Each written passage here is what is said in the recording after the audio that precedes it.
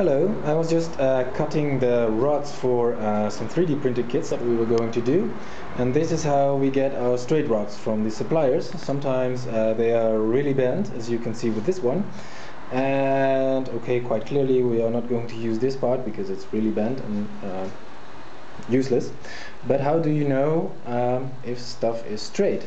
Um, I just find out, found out a little method.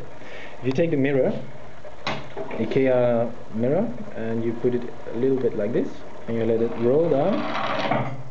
If it rolls down evenly then it is straight. And if you hear that it is a bit uneven like this one it's even a bit too fast maybe.